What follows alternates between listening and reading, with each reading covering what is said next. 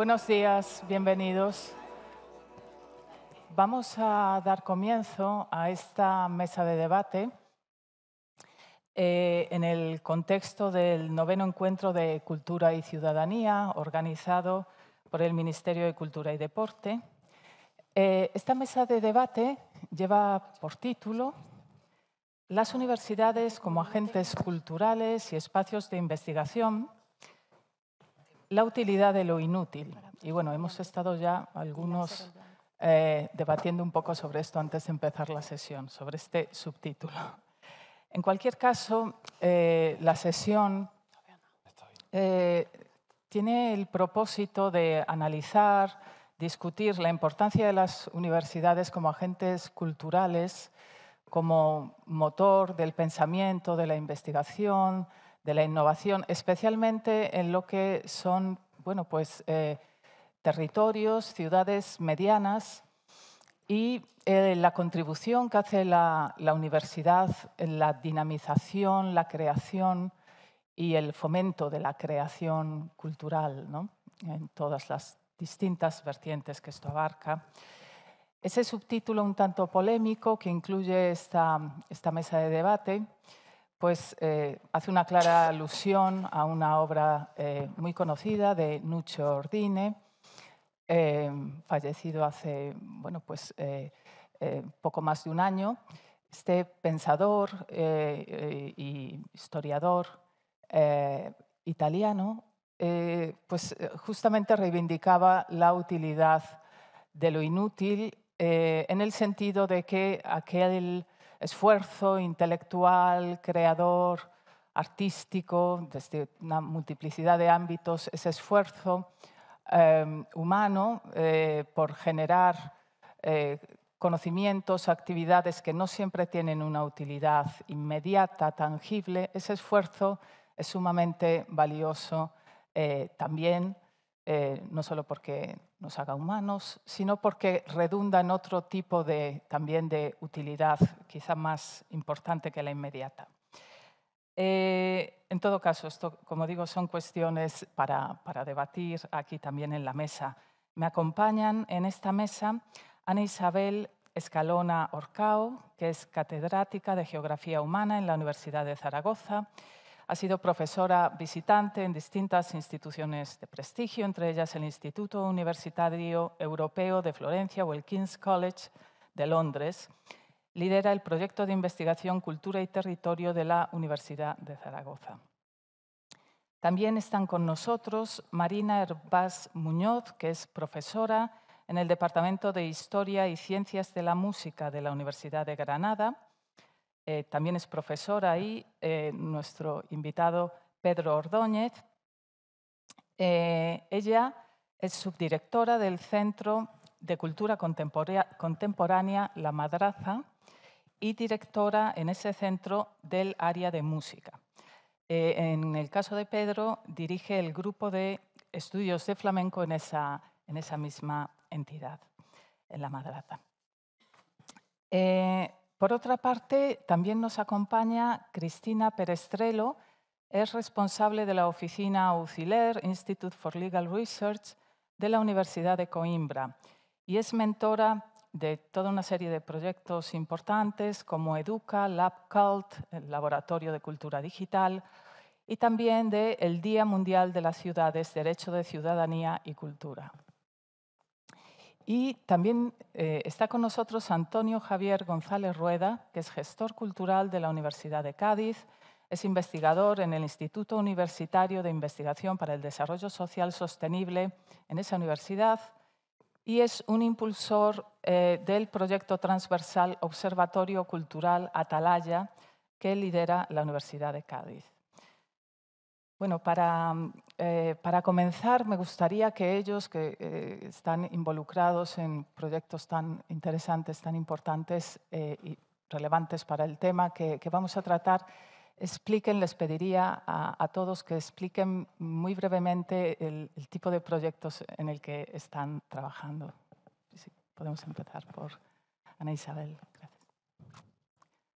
Bueno, buenos días. Eh, muchas gracias al Ministerio de Cultura por habernos invitado.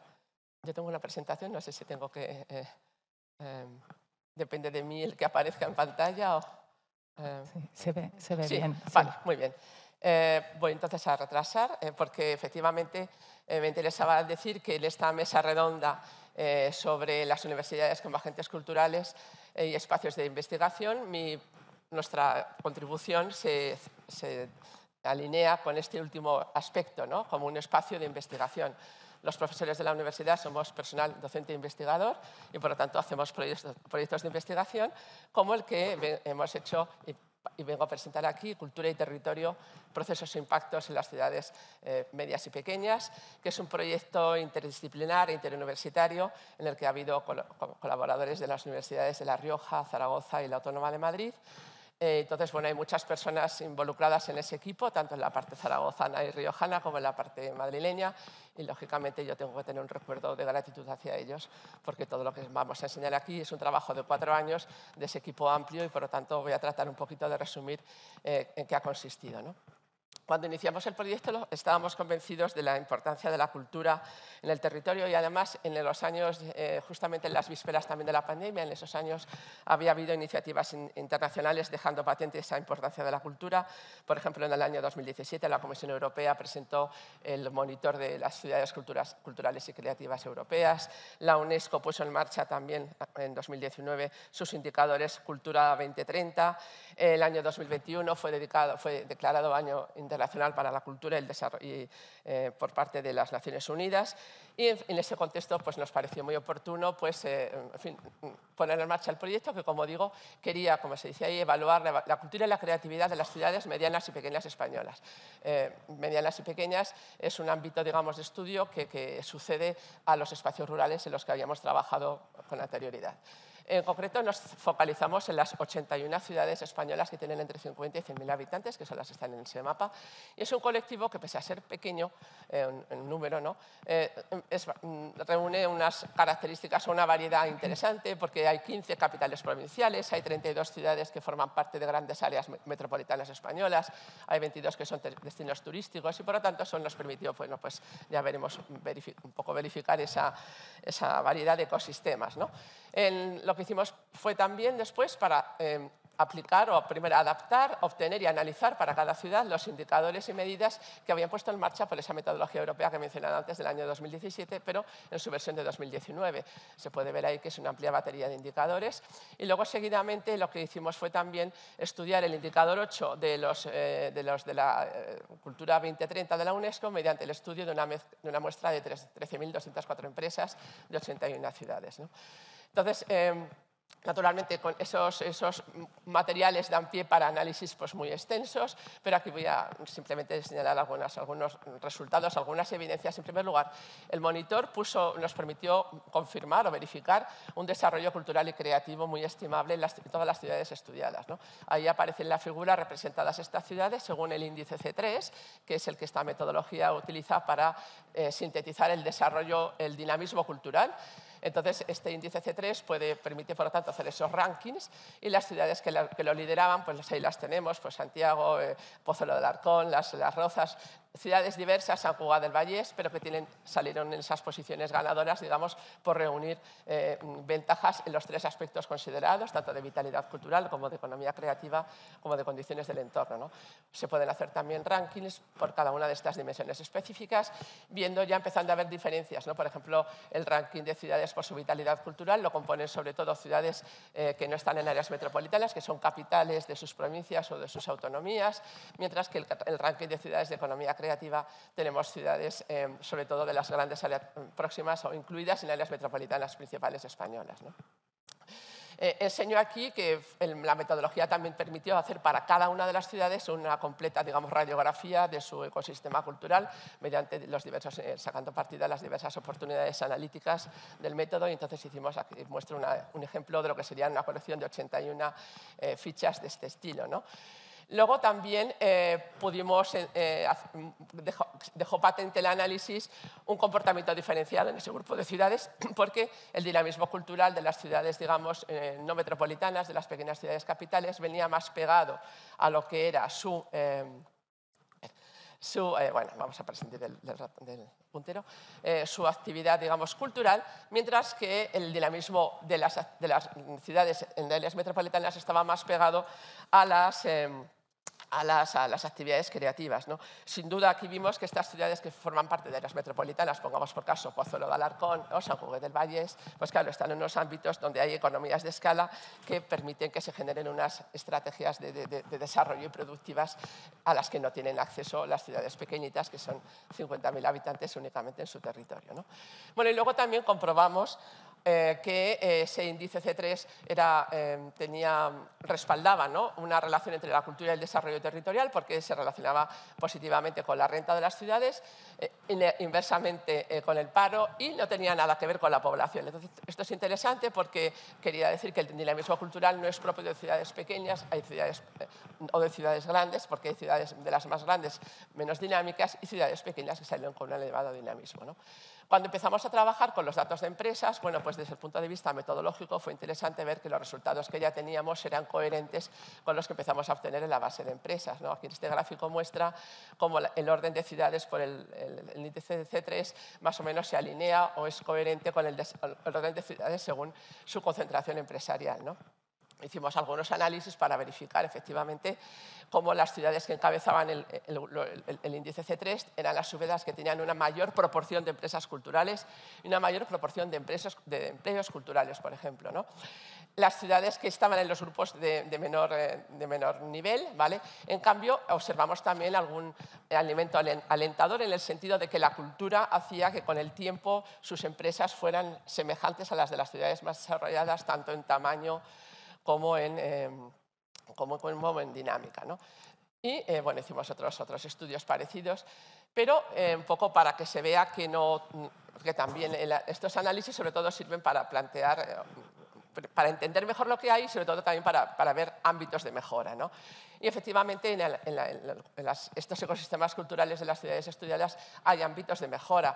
Por ejemplo, aquí hicimos una clasificación de las ciudades en cinco categorías según su perfil dominante y vimos que algunas ciudades que tenían una economía creativa potente tenían carencias de vitalidad cultural ciudades con una elevada vitalidad cultural les faltaba esta parte económica de la economía creativa. ¿no? Y ciudades con unas características estupendas de, condiciones para el desarrollo cultural y creativo no las tenían porque no, no habían cuajado todavía esas. Entonces, bueno, ahí tenemos una, una primera, un primer desafío. Y luego el otro desafío justamente introduce el término, uno de, la palabra simetría, que cuando la utilizamos fue hace un año, no sabíamos que se iba a utilizar en este, como lema de, este, de esta reunión, y es efectivamente, es un conjunto muy asimétrico, muchas diferencias claras entre ciudades y empresas. ¿no? Las curvas de Lorenz muestran con claridad la mayor concentración de los empleos, de las empresas, de los activos, ¿eh? y de en fin, y, de, eh, esas tres variables clave en un grupo reducido de ciudades y un grupo reducido de empresas. Es llamativo, por ejemplo, que si la muestra de empresas era de 12.000 y pico, las 7.000 más pequeñas ¿vale? no reunían, mm, eh, que eran el 53% del total, solo, acumulaban el 10% de los activos, ¿vale? mientras que 26 de las 7.000, eh, perdón, 26 de las 13.000 suman el 40% de los activos. Entonces, claro, esa Quiere decir que las estadísticas, eh, eh, es interesante entrar en el microdato para ver este enorme, enorme contraste. ¿no? Y ahí ya, mm, bueno, eh, por poner un poco nombres y apellidos esas ciudades que estaban en el decil, en el grupo más dinámico, en el grupo menos dinámico, pues ahí aparecen identificadas ¿eh? unas y otras. Las primeras, viendo que tenían muy pocas, una pequeña proporción de todas las empresas, los activos o los empleos, y un tamaño medio también de esas empresas muy chiquitín. En cambio, en las ciudades donde eh, había mayor concentración, bueno, pues la, proporción de empresas es mayor, el tamaño de las empresas también. apuntamos en esa idea positiva que estos aspectos no son baladíes, porque de alguna manera el desarrollo de las empresas se extiende al de las ciudades y esto a todo, explica un poco aquellos elementos con los que las ciudades cuentan un poco para defenderse o para sortear las crisis. ¿no? Bien. Y bueno, no sé si he corrido mucho, pero ya llegamos, llegamos al final, porque esto, eh, cuando empezamos la investigación teníamos, estábamos convencidos de que la cultura tiene este valor intrínseco, pero aquí recordando a mi compañero Luis Antonio Sáez, que es conocido por muchos de los que están aquí, él tiene una frase que a mí se me quedó grabada, dice, claro, tú tienes que saber, no, está, no basta que sepas quién es el, el asesino, tienes que demostrarlo. ¿no? Entonces, en este caso, yo creo que hemos demostrado que ha aportado argumentos consistentes y evidencias ¿eh? de que la cultura eh, ayuda al desarrollo y, por lo tanto, estos esto pueden ser argumentos para justificar mayor apoyo desde lo público al ámbito cultural. ¿no? Y luego, toda la información que hemos eh, obtenido pues, proporciona a las ciudades pues, elementos para abordar su, una reflexión sobre su futuro, ¿no? el futuro de la cultura en ellas. ¿no? Y acabo mostrando únicamente eh, que todos estos años de investigación, casi 10, porque este proyecto, ya digo, sucedía otro, pues eh, los, los tenemos ahí puestecitos en nuestra web Cultura y Territorio, ¿eh? donde los interesados pueden conocernos mejor el equipo, ver qué equipos de proyectos de investigación hemos hecho, ver, qué ver las publicaciones que hemos realizado, las eh, ponencias de congresos que hemos presentado. ¿vale? Eh, tienen, se mantienen digamos, los documentos de, de, las dos jornadas que hicimos, una en Huesca en el año 2020 en enero de 2020, vísperas de la pandemia, ¿eh? todas las ponencias, todas eh, todos los debates. Y luego otra al término del proyecto, en el año 2021, o ya más hacia el final, en Cuenca, ¿eh? también están ahí esos documentos. Y luego, pues creemos que, puede, que es muy interesante todo el apartado de recursos, donde sobre todo están los materiales del análisis de la base de datos monitor, que presenta para cada una de las ciudades cada uno de estos 29 indicadores, índices, medidas, cartografías, bases de datos, es decir, es un auténtico filón, espero, para que eh, eh, pueda ser utilizado por los interesados. Y nada más. Muchas gracias. Muy bien, muchas gracias. Muchísimas gracias. Eh, entonces, os agradezco mucho el esfuerzo que, que vais a hacer y que, y que, ya ha hecho Ana Isabel de abreviar en la medida de lo posible, decir mucho en poco tiempo y para que, como digo, haya algo de espacio para, para el debate. Eh, Marina Herbás y Pedro Ordóñez, cuando queráis. Bueno, muchísimas gracias eh, también a toda la organización y a toda la gente que hace posible este tipo de, de encuentros, que, en fin, viendo las dimensiones del mismo, pues todos los que nos dedicamos, entre otras cosas, a la gestión, sabemos el, esfuerzo, sudor y lágrimas que a veces conlleva. ¿no? Así que muchísimas gracias y también, perdón, y también por tener en cuenta este proyecto de, de, la madraza que surge dentro del Vicerrectorado de Extensión Patrimonio y Relaciones Institucionales eh, ya desde hace unos cuantos años eh, y de alguna manera la madraza es el músculo o el brazo inicialmente de programación cultural, por así decir, de, la universidad, eh, parecido a lo que puede existir en otros ámbitos de la extensión universitaria, pues con diferentes áreas, cátedras, aulas, etcétera, intentando cubrir los distintos ámbitos de, de la programación cultural, cine, artes escénicas, artes visuales, etcétera. Es verdad que poco a poco este proyecto de la madraza se ha ido complementando aparte de con la riqueza patrimonial que tiene la ciudad de Granada y por suerte la Universidad de Granada, con palacios del siglo XIV, del siglo XV, en fin, en espacios muy especiales, Em, también con proyectos propios intentando pensar los barrios en los que se inscribe este patrimonio que muchas veces eh, parece excluyente para la gente que vive en el propio barrio, como puede ser la Casa de Porras, que es un, eh, palacio eh, que tiene muchas épocas juntas, en el corazón del Albaicín, un espacio además muy gentrificado. Entonces, parte de nuestro proyecto que tiene que ver con la educación es también pensar la educación no reglada, los saberes populares de una manera intentamos que no sea romantizada ni tampoco vista desde arriba, que a veces nos pasa en la universidad, que parece una especie de torre de marfil. Em, y en este sentido pues, se ha abierto desde talleres cívicos hasta proyectos mm, que buscan que la formación tenga un componente fundamentalmente centrado en la emancipación. Esto que hablamos de la utilidad de lo inútil, pues muchas veces eso que parece que que se sabe de siempre, hay que darle forma, cuerpo y, espacio. ¿no? Eh, hay proyectos vinculados con esto directamente, como lo, Vivo, lo Hondo, lo Pueblo, que intenta pensar específicamente, eh, como decía, ¿no? el territorio eh, y, también no ocupar meramente un espacio, sino pensar desde ese espacio y con la gente que ocupa ese espacio. Em, y la tercera rama de, nuestra ocupación, que, Pedro, mi compañero, que agradezco mucho también que te haya sumado, yo me acabo de incorporar al equipo, Pedro viene del equipo anterior y continúa con el grupo de estudios flamencos. Em, como decía, esta tercera rama son los programas públicos, que de alguna manera continúan con este espíritu de pensar críticamente qué se puede hacer en la universidad o qué tiene que hacer la universidad por su ciudad o su contexto y más cuando hablamos de, esa, de lo público. ¿no? Y hay proyectos como las oficinas, donde estudiantes pueden hacer sus propios proyectos de política cultural y de cultura política, club de plantas, en la medida en que tenemos patios estupendos y, podemos también abrirnos a, aprender sobre botánica cotidiana. Eh, un principio de biblioteca, que es una biblioteca que está surgiendo del propio impulso de la gente que participa en esa biblioteca, con, desde donaciones hasta el pensamiento sobre qué significa un archivo o un libro. O el proyecto de los tientos, que sí que nos gustaría detenernos más porque nos parece bastante significativo que haya una residencia de creación dentro de la universidad, dentro del lema Tentar la universidad. Y ahí te cedo la palabra. Muchas gracias. Muchas gracias, Marina. Eh, buenos días a todas y a todos. Eh, pues precisamente en Casa de Porras tiene esta, este término casa, no palacio, sino que bueno, eh, es un hogar eh, los cientos se, se plantea hace eh, en 2021, en la primera edición, como residencia artística durante un mes. Eh, en la primera edición fueron tres los artistas que, pudieron disfrutar de la residencia. En la segunda crecimos a ocho porque era el centenario de Torruso Antejondo de, de Granada y, claro, políticamente era interesante y estratégico apoyar la iniciativa. Subimos a, a ocho residentes y esta tercera edición también ha sido de ocho residentes. Y bueno, fundamentalmente este mes eh, venimos de, terminar la residencia el 15 de octubre y, bueno, los artistas están muy contentos porque no le pedimos nada. O sea, están un mes en Granada, eh, cubierta su necesidad de, alimentación y, y pernocta. Eh, y están, programamos también una serie de actividades, invitamos a, artistas del mundo de, los flamencos. La idea de los tientos es tomar el flamenco como territorio de experimentación y de creación contemporánea. y bueno, de los ocho residentes Inicialmente solo una, Ana Arenas, estaba vinculada al flamenco como bailadora, los demás venían de la arquitectura, de la poesía, de las artes plásticas, artes visuales, fotografía, cine.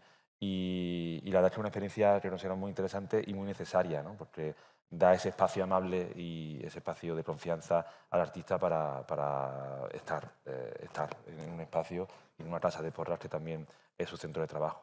Después, en primavera, presentamos los resultados porque es necesario para justificar el apoyo institucional, presentar un tipo de resultado.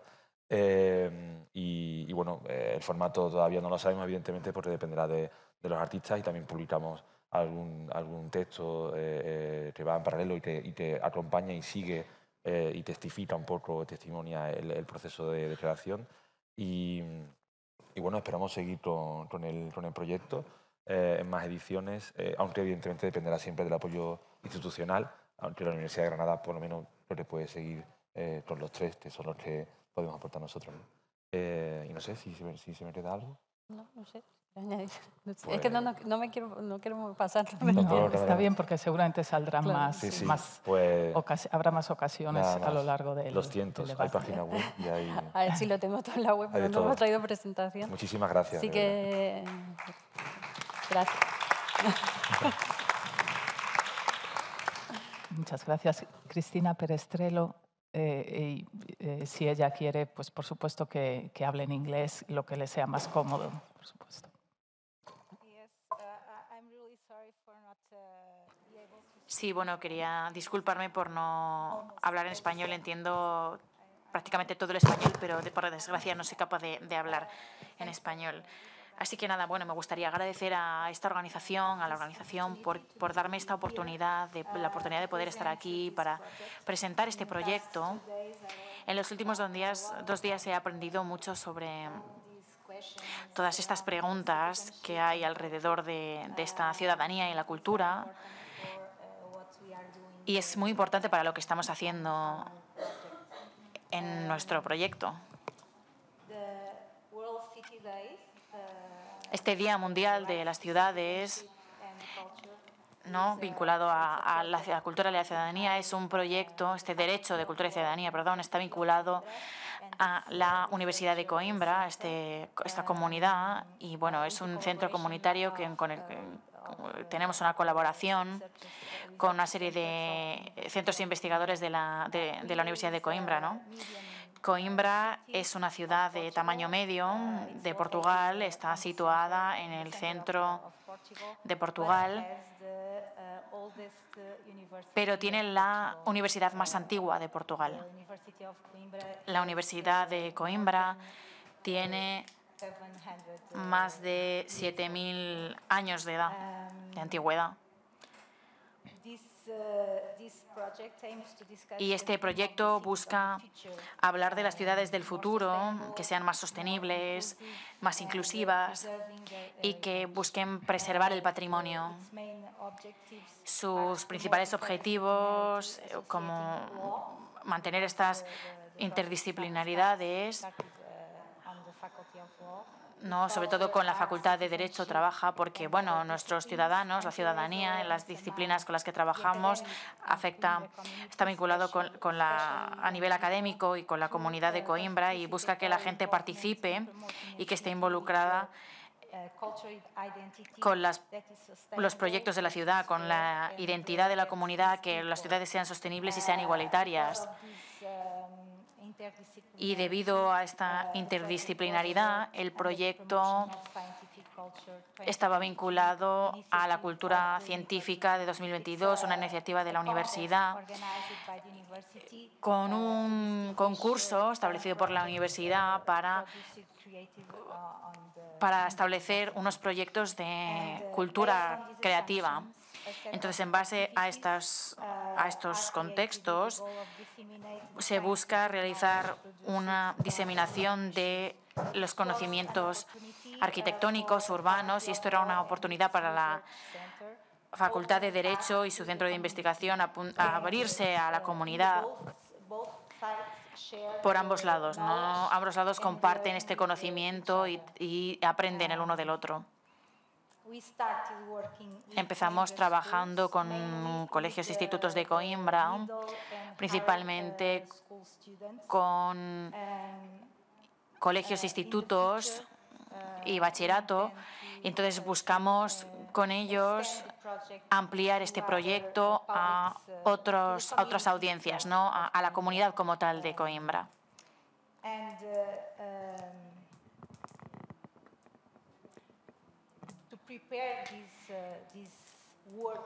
Y para preparar este, este trabajo, estas actividades con los estudiantes, hicimos alguna serie de reuniones con los profesores. y así juntos comprendimos que era muy importante que se vieran reflejados los estudiantes en lo que es una ciudad, porque al fin y al cabo es la ciudad simplemente una serie de edificios y de instrumentos o es un lugar que apoya actividades de ocio con las infraestructuras necesarias para ello. Es un lugar para encuentros, para el desarrollo de relaciones sociales o quizá la ciudad es un poquito de, de todo, ¿no? Entonces el reto para nosotros era saber cómo podíamos planificar el futuro de la ciudad en la que vivimos, sabiendo que esto es un ejercicio colectivo en el que tenemos algo que decir, ¿no? Entonces, entre septiembre y noviembre de 2022, invitamos a una serie de investigadores de distintos campos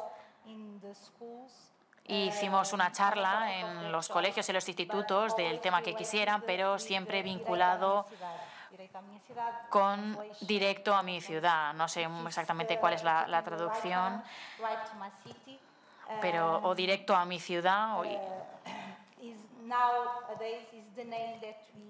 y bueno, hablaba un poco de, de las necesidades vinculadas directamente con el proyecto. Organizamos cuatro charlas en cuatro institutos y una de estas charlas tuvo lugar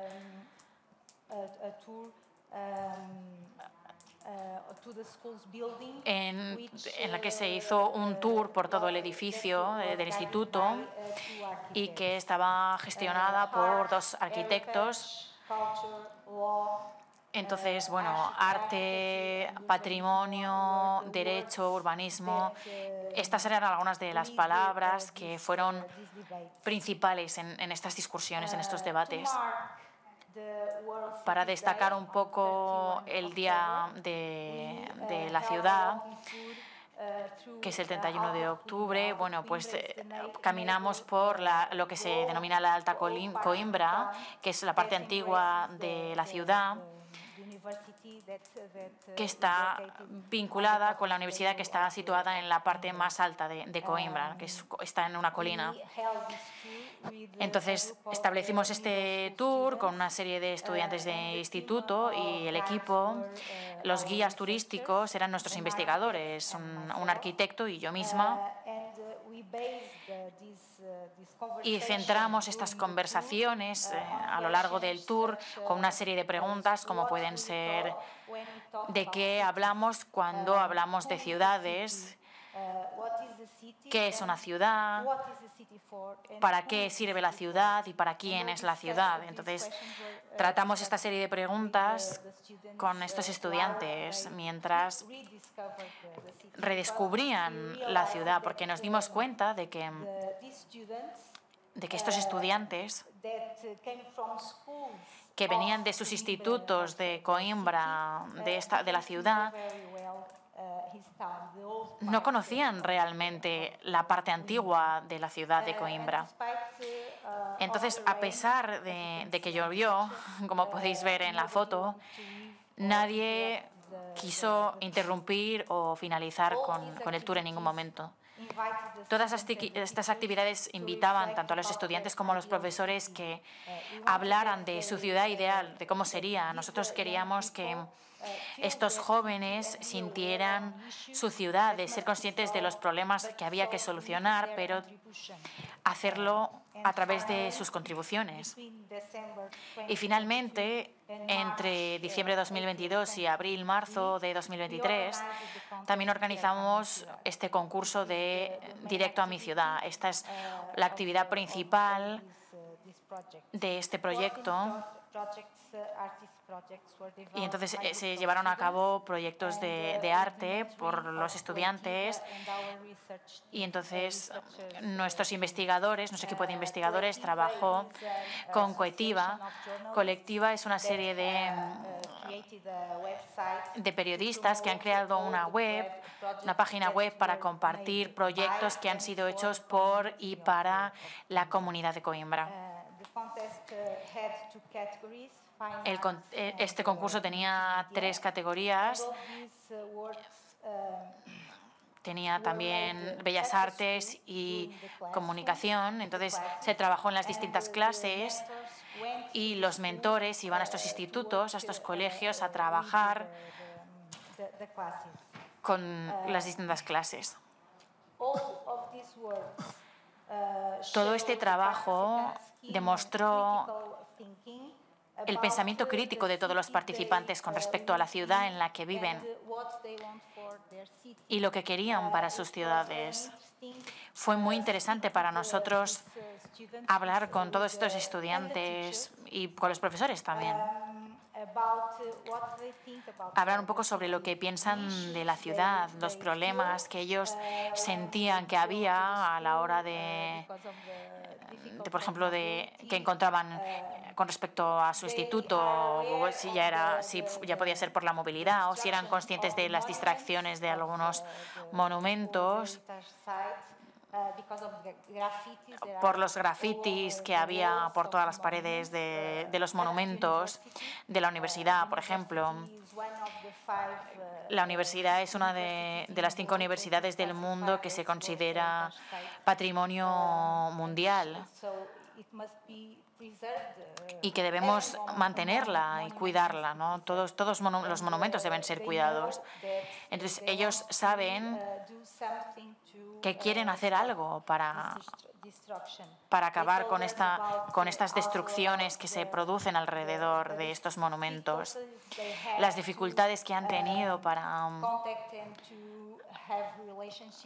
para mantener, crear estas relaciones con otras culturas, debido a que incluso en las clases tienen estudiantes de otras ciudades, de otros países, de otras culturas, de distintas regiones y religiones, deben aprender sobre ello y respetarlo respetarse los unos a los otros. Entonces, estos son algunos de los problemas que tratamos con ellos y que esperamos poder continuar con este proyecto y que podamos hacer algo productivo, que haya eh, este conocimiento en la universidad, de toda esta investigación que hemos hecho a través de, la universidad al servicio de, de nuestra comunidad, al fin y al cabo. Muchas gracias.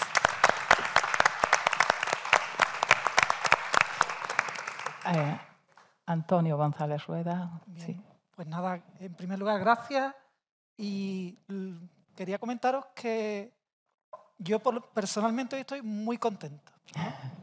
Porque una de las cuestiones que académicamente algunos hemos sostenido durante mucho tiempo es que las universidades eh, desde el 78-79 son agentes culturales del territorio. Es decir, en las universidades desde la ley de reforma universitaria, eh, hay siempre en todos los equipos rectorales un vicerrectorado, que sería el equivalente a consejería en una comunidad autónoma, concejalía en un ayuntamiento. Eh, hay un vicerrectorado dedicado específicamente a gestionar cultura. Y una de nuestras reivindicaciones ha sido siempre que a nivel de las instituciones estatales nunca éramos agentes reconocidos, ¿no? Y creo que este primer, esta primera mesa inicial es un excelente comienzo y felicito, por tanto, a los, a los organizadores. No voy a poner nombres para, para que no falten, pero que sí que, que me siento muy satisfecho. Eh, en segundo lugar, quería también comentar, partiendo de esa idea, que como tales agentes eh, mm, en el territorio, agentes de la cultura, las universidades llevan desde esos años 80 gestionando presupuestos, gestionando proyectos culturales, creando equipamientos, eh, promoviendo programas, eh, dando soporte a algunas iniciativas creativas, ya podemos valorar si mucha o poco soporte, pero de alguna manera interviniendo directamente en el territorio. Y tenemos una peculiaridad que viene del origen del nombre inicial que teníamos, que en algunos sitios se mantiene por un tema histórico, que es que solemos llamarnos o solíamos llamarnos vicerrectorado de extensión universitaria. Nuestro origen es, tenemos un origen fantástico, que es el, el regeneracionismo del final del 19, y bueno, esa idea de implicación en el territorio nos viene desde entonces, y, pero hemos ido evolucionando. ¿Por qué? Porque la universidad que empieza en el año 79 en nada se parece a la universidad actual. Hemos sufrido o sufrido o beneficiado, cada uno puede opinar de distinta manera, todo el proceso de Bolonia. Y ahora mismo nos encontramos con unas universidades en España en las que la distinción ha desaparecido ese rol que se nos asigna a la universidad como una institución de intelectuales no es cierta.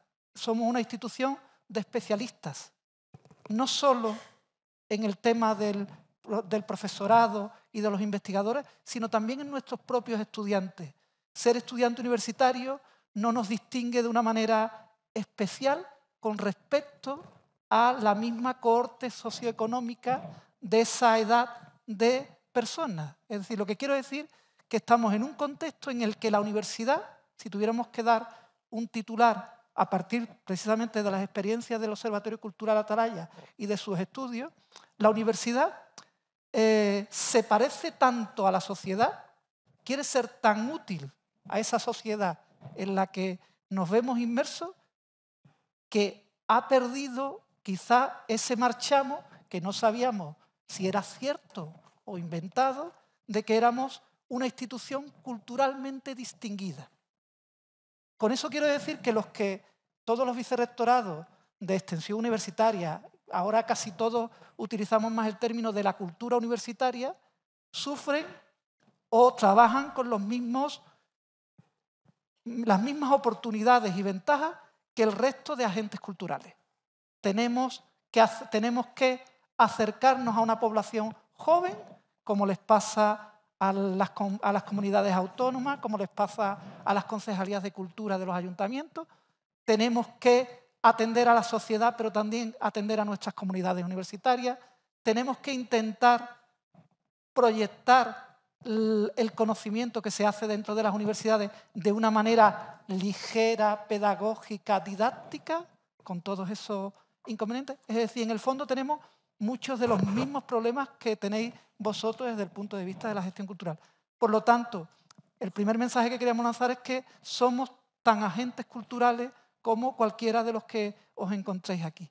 A mí se me, se me encarga aquí, como investigador del Observatorio Cultural Atalaya, contaros la experiencia de este observatorio, que nace, fundamentalmente nace en el año 2006 para dar soporte a esas necesidades de investigación, de investigación aplicada que tienen las nueve universidades andaluzas en materia de cultura, de gestión cultural universitaria.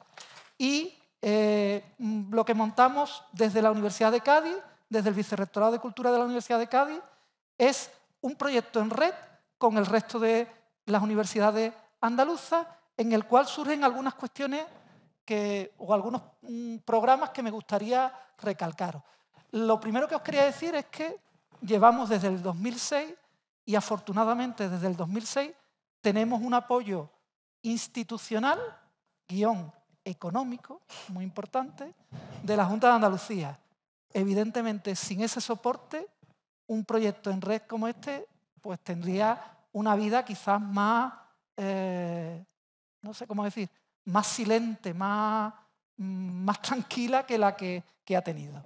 Eh, el observatorio eh, también, como la propia gestión cultural universitaria, como la propia cultura universitaria, tiene la ambivalencia de que nuestro, de nuestro destinatario, nuestro target principal es la comunidad universitaria, que recuerdo, la conforman estudiantes, personal académico y personal no académico, pero también tenemos que servir a la sociedad, porque la propia misión de la universidad está el servir a la sociedad. Por lo tanto, casi todas nuestras actividades y programas son abiertas. Es decir, que la ciudadanía normal accede a las actividades como podría acceder a un equipamiento de teatro del municipio, de la provincia o de la red de equipamientos del ministerio o de la consejería de turno. Eh, os coloco, bueno, se trata también, sabéis que en estos foros hay que vender un poquito el producto, no voy a dedicarle cinco minutillos o dos minutillos a esto. Eh, deciros que, tenemos un, como todos, pues bueno, tenemos una web, eh, redes sociales y la característica que para nosotros importante tiene este repositorio web es que todos los productos que hemos lanzado desde el año 2006 están abiertos y no solo abiertos, sino que especialmente en uno de los que voy a comentar anteriormente, también tenemos abiertos los microdatos, que es una cuestión que habitualmente, bueno, empieza ya, incluso por la nueva ley de universidades nos obliga, ¿no? pero que no era, una, no era muy habitual hace 10 años que los microdatos de las encuestas estuvieran disponibles para que otros investigadores hicieran con, con ellos lo que tuvieran a bien. Bueno, tenéis nuestro lugar donde buscarnos y... Eh, vale. Quería contaros muy rápido en qué nos centramos y luego contaros cuatro, cuatro programas que nos, interesan fundamentalmente. Bueno, como, como observatorio que tiene dentro investigadores de las nueve universidades andaluzas, eh, nosotros tenemos una facilidad con respecto a otros proyectos, que nuestros proyectos no son competitivos. Es decir, no es una convocatoria del Ministerio o una convocatoria de la Unión Europea o de la comunidad en la que compite un investigador con otro investigador. Todos nuestros proyectos son proyectos en red, por lo tanto son proyectos de cooperación, lo cual nos da una eh, metodología mucho más fácil para trabajar. Nuestros grandes apartados, aparte de contar con un centro de recursos culturales que está, eh, gracias al sistema bibliotecario que tenemos en Andalucía, completamente abierto, tenemos eh, un manual atalaya de apoyo a la gestión cultural, muy volcado en los gestores culturales, tenemos un grupo de estudios sobre las prácticas culturales de las universidades eh, andaluzas, tenemos becas de investigación y luego tenemos un proyecto quizás estrella, que es la revista periférica, que el año que viene cumplirá 25 años. Entonces os voy a pasar a detallar algunos de estos elementos. La, la, revista periférica, como os decía, el año que viene cumple 25 años. Es, no es la única revista de gestión cultural y territorio española.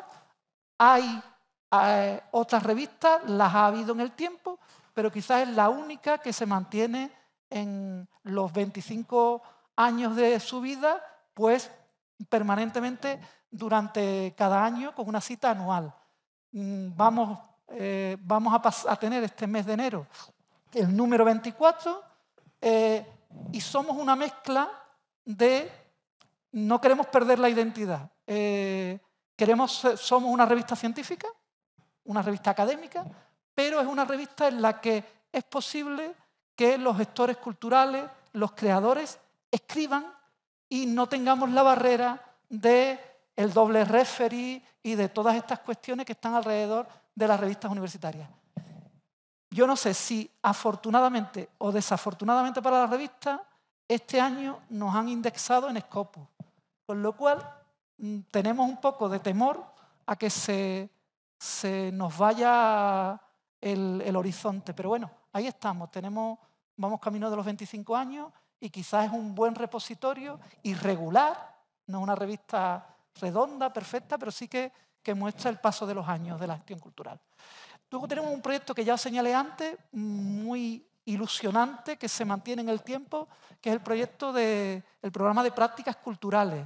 Aquí contamos con equipos de las nueve universidades, de las diez universidades andaluzas ahora mismo, con la Universidad Internacional de Andalucía, equipos sociológicos, de ciencias sociales, hay también gente de marketing multidisciplinar, y que eh, ha ido desde el 2006 eh, publicando cómo son los estudiantes eh, universitarios, cómo son los profesores universitarios, cómo es el personal no académico, cómo son las ciudades en las cuales tenemos campus, cómo es también la comunidad autónoma andaluza desde el punto de vista de las prácticas culturales. Y yo me atrevería a decir que ahora mismo, junto con la base de datos del Ministerio de Cultura, esta quizás sea la segunda base de datos con más microdatos sobre prácticas culturales. Eh, os anuncio que en noviembre presentamos el último trabajo que hemos titulado Prácticas culturales en las universidades públicas de Andalucía, una mirada sociológica desde la cultura universitaria 2006-2022. Es como un trabajo de, de balance de todos los colectivos que la forman desde una perspectiva cualitativa y cuantitativa. Eh, tenemos un producto del cual estamos orgullosísimos, que es el manual Atalaya de apoyo a la gestión cultural.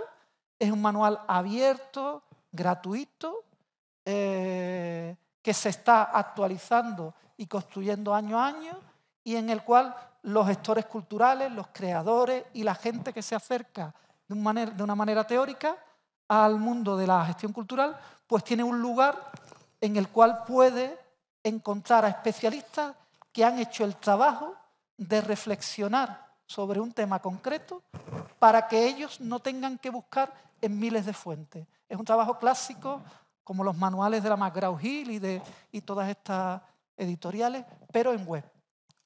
Bien, tenemos, podríamos dar cifras, pero como vamos, eh, vamos alimentando toda esta cuestión, eh, simplemente deciros que eh, nos tenéis en, bueno, nos tenéis disponibles en la web y que intentamos ser lo más útiles posible. No sé si, si lo habremos conseguido o no. Gracias.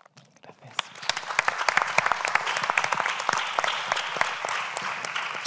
Muy bien. Como, vamos un poco mal de tiempo, voy a lanzar bastantes cuestiones, pero para simplemente eh, que iniciéis el diálogo y, podamos ir comentando lo, que os parezca más relevante. Em, una primera cuestión, aunque os pregunto a vosotros, que seguramente eh, bueno, pues es a los que se, eh, se les aplica menos este problema, ¿no? pero em, ¿creéis que la universidad está desconectada de la ciudadanía en los temas, en las cuestiones que aborda? Em, no me refiero, eh, a, como digo, en vuestro caso particular, sino en general, los tipos de, problemas, de asuntos que aborda, o, o no, eh, no, no, está desconectada, está realmente volcada en lo que en cada campo serían las cuestiones más fundamentales, pero sea una cosa o la otra, eh, ¿Está la universidad desconectada en el contacto con los ciudadanos, incluso si aborda temas que sí tengan mucha relevancia y, como digo, una relevancia generalizada? ¿Está desconectada? Eh, ¿Faltan espacios eh, para que haya un intercambio, un contacto entre los académicos, los profesionales de la universidad y los ciudadanos un contacto fructífero eh, en el que, del que puedan emerger pues, contribuciones culturales y, transferencia cultural. Eh, ¿Creéis que, faltan esos espacios y, si faltan, eh, ¿cómo, ¿cómo, creéis que debería facilitarse el, el, que se creen, se produzcan esos espacios? Y más allá de, lo que de nuevo pueda ser, eh, os pido un poco un esfuerzo ¿no? de, de, visión, más allá de lo que pueda ser eh, la experiencia, como digo, particular vuestra, que, que obviamente es exitosa, es, es, una experiencia de logro en ese sentido, ¿no? pero más allá de eso, cómo de, bueno, pues generalizar o expandir lo que sería ese, ese tipo de, Em, de extensión eh, justamente de, la universidad en, territorios, em, bueno, pues como las ciudades medianas y en sectores eh, en particular como el de la juventud, en, el que, bueno, pues eh, hay una, en la parte que, Ana Isabel nos presentaba, veía el, el indicador del paro, ¿no?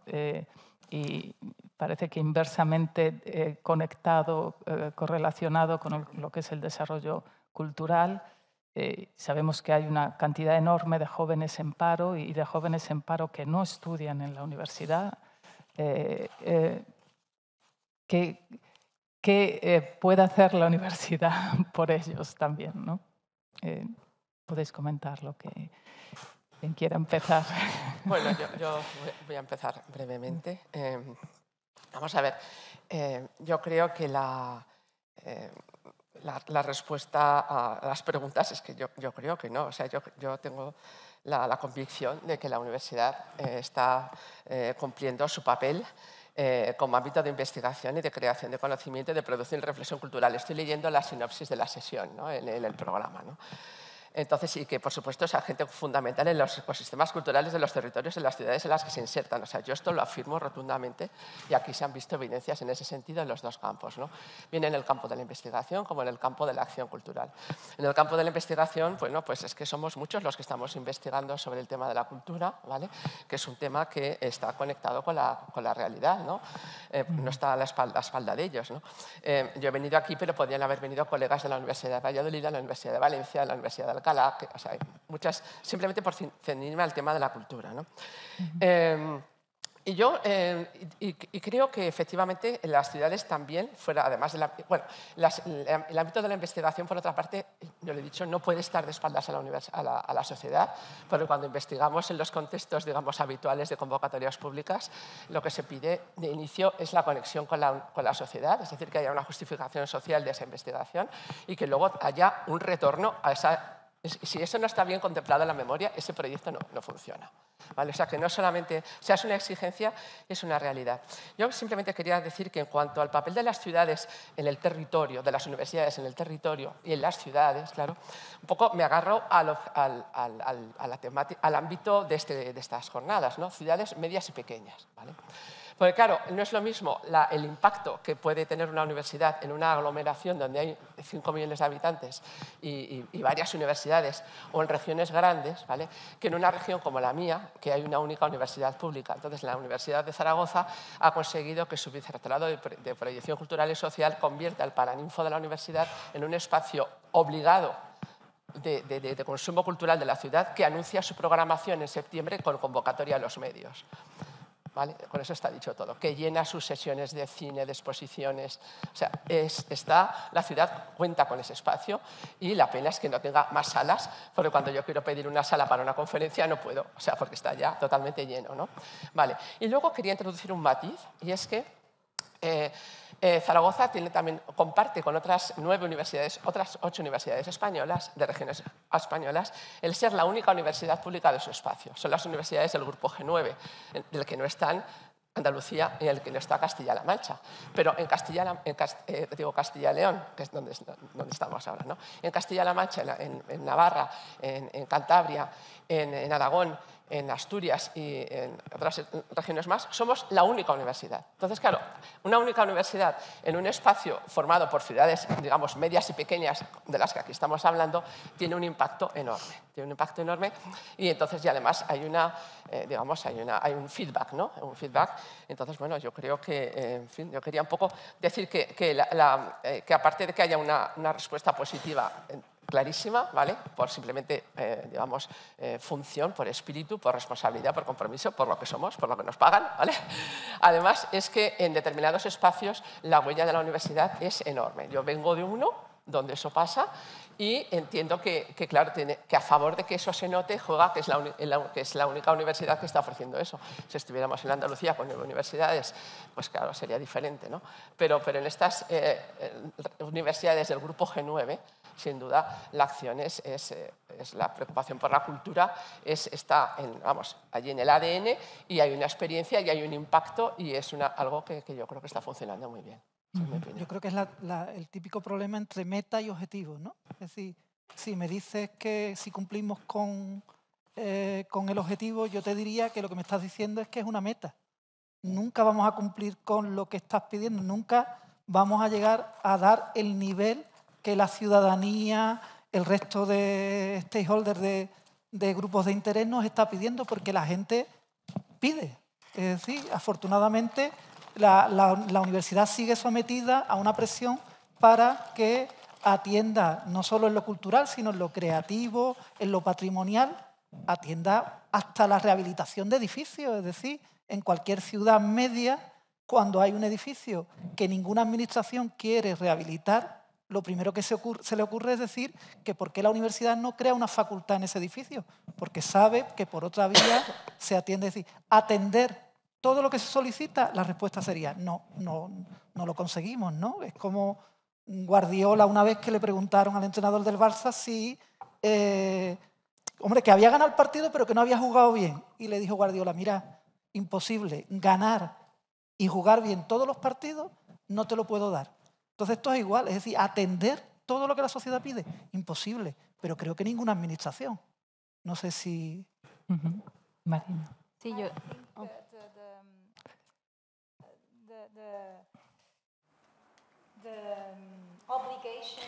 Si pensamos que bueno, las obligaciones son parte de la lucha que hacemos entre que hay, que existe entre las universidades y, y las autoridades públicas y locales y por supuesto también los accionistas de, de la ciudad.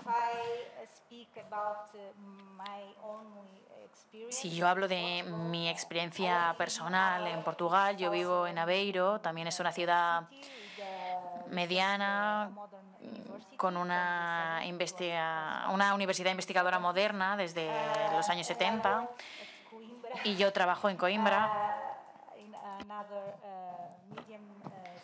en otra ciudad de tamaño medio y creo que el problema es siempre el mismo. Las quejas de, la comunidad de las comunidades sobre la universidad y la universidad se queja de la comunidad. Pero la obligación es mutua ¿no? de ambas partes.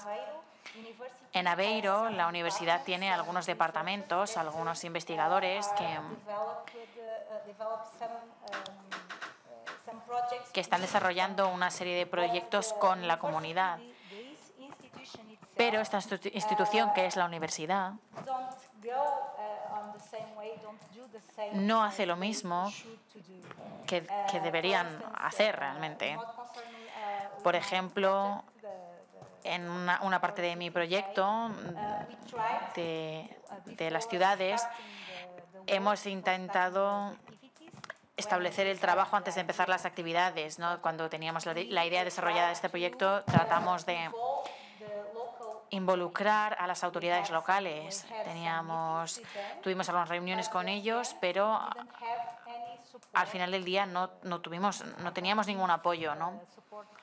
no me refiero a apoyo financiero, sino también el apoyo de estar presentes, de participar, de favorecer este proyecto. Entonces mm, me di cuenta de que todos nos dimos cuenta realmente de que de que los institutos no, no, sabían que la Facultad de Derecho tenía un centro de investigación, por ejemplo. Entonces creo que sí, hay algunos problemas todavía por resolver ¿no? entre, entre estos dos. Pero bueno, creo que es, es una obligación y un trabajo de ambas sí, yo partes. Quería solamente bueno, plantear cuál es la duda que a mí me surge con todo esto, que es no, dar por hecho una definición de universidad que parece que, que, cae por su propio peso. ¿no? Cuando nos preguntaba si la universidad está desconectada eh, de la sociedad, yo me pregunto por el propio sentido de la institución, que a veces, y más en algunas universidades tan mastodónticas como la Universidad de Granada en nuestro caso, pero que podríamos pensar en otras, y también de ciudades grandes, ¿no? como la Complutense, por ejemplo, para mí es eh, que tiene que ser la universidad, porque ante esta cuestión yo no tengo claro que, siempre tengamos que estar a la altura de lo que se supone que tiene que, ofrecerse a la sociedad. Me explico.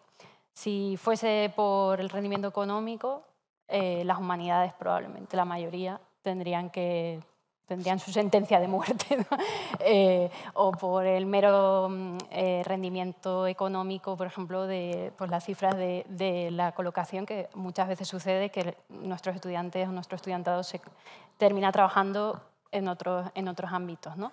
Em, quería remarcar en ese sentido pues, precisamente el título de, este, de, este, de esta mesa, ¿no? de esa... Mm, utilidad de lo inútil, eh, porque creo que precisamente si la universidad es algo para mí es un dispositivo crítico en el que la sociedad también tiene que enfrentarse a, cuáles son no solamente los retos de, que, digamos, más materiales y eh, fundamentalmente económicos, sino también, eh, por ejemplo, que, que, tiene que ver con lo humano, o que, ¿no? donde evidentemente tiene que ver lo cultural, pero también la defensa de ciertos saberes que solo suceden en la universidad, o que solo pueden suceder en la universidad. Yo creo que ahí no sé, a mí me parece fabuloso que nosotros tengamos estudios de hebreo y de griego, de que hay cuatro estudiantes, pero es que si no sucede ahí, ¿dónde sucede? ¿no? Y al mismo tiempo, eh, precisamente es parte de nuestra rama, pensar en el saber no reglado. Lo sabemos seguro cada uno en nuestra disciplina, ¿no? nosotros en la música lo sabemos bien. Ha costado muchísimo tiempo incorporar las músicas populares urbanas o el flamenco eh, al saber académico, porque había cierto recorrido discursivo, lo pongo como ejemplo, ¿eh? perdonad que lo lleve a este terreno, pero había cierto recorrido discursivo que es político sobre lo que se tiene que estudiar y lo que no se tiene que estudiar en la universidad o lo que debe ser material académico o no material académico. El año pasado organizamos, Pedro y yo conjuntamente, un, curso donde incorporamos a Lola Flores como, como eh, figura eh, de estudio y más de uno se llevó las manos a la cabeza. ¿no? Eh, en ese sentido, para mí, la universidad tiene muchas cosas que revisarse, entre otras eh, procesos elitistas, procesos jerárquicos y desde luego eh, tiene un, eh, diría ¿no? también que ejerce cierto poder sobre los saberes que se establecen. En este sentido, claro, quería polemizar con Ana Isabel por, las memorias, ¿no? porque muchas veces tenemos que encajarnos, los que somos de humanidades, en unas memorias que hacen muy complicado jugar al juego, porque los estándares vienen o de las ciencias sociales o de, de las ciencias exactas, ciencias naturales, ¿no? y el saber humanístico eh, a lo mejor tiene otros derroteros, ¿no? Por eso a veces Cuestión de eh, complejo. Gracias. Eh, entonces, nada, solo eso, perdón, solamente por acotar, yo me preguntaba si todas las exigencias sociales son siempre legítimas o son siempre legítimas en los mismos términos y por lo tanto, si la universidad no debe desconectarse más. Esto es lo que yo quería plantear. Bueno, simplemente por alusiones, yo me considero del ámbito de las, de las humanidades, yo, soy profesora de geografía y mi departamento tiene un debate entre si estar en la si, por estar en una facultad de filosofía y letras, ¿vale? Entonces, bueno, conozco bien esas dificultades y simplemente te digo cuestión de tablas. Tablas a la hora de intentar, bueno, pues conseguir en un marco que te dan, ¿no? Pues poder eh, sortear los obstáculos y, hacer lo que uno quiere, ¿no? Más. Sí, eh, me gustaría poder aprovechar eh, para formular yo una, plantear una última cuestión y, abrir, aunque sea en pocos minutos, a abrir un, eh, he visto alguna mano levantada.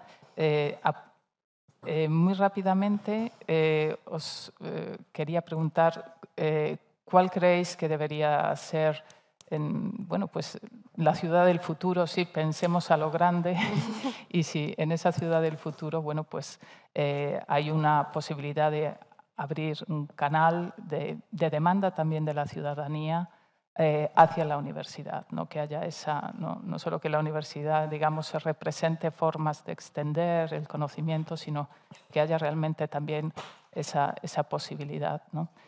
Eh, me dicen que no hay tiempo para preguntas del público. Lo, tendría que ser, pues eh, podéis, por supuesto, eh, hablar después de la sesión con los, con los ponentes y os pediría que, bueno, pues que en un, en un minuto, en un esfuerzo de síntesis, me... Yo casi cedería ese tiempo al público, no lo sé. Sí, yo prefiero. Sí, sí pues adelante.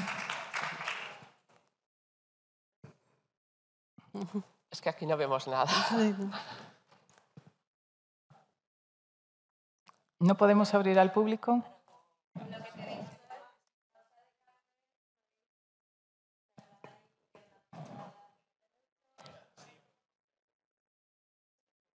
Claro, la regidora. Pero la regidora hace bien su papel, ¿eh?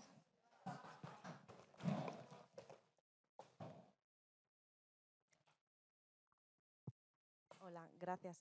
Eh, nada, era eh, bueno, señalar, esto es obviamente mi, humilde opinión, eh, sobre la pregunta que ha lanzado antes eh, la moderadora en cuanto a esa conexión entre la universidad y, digamos, la realidad eh, social.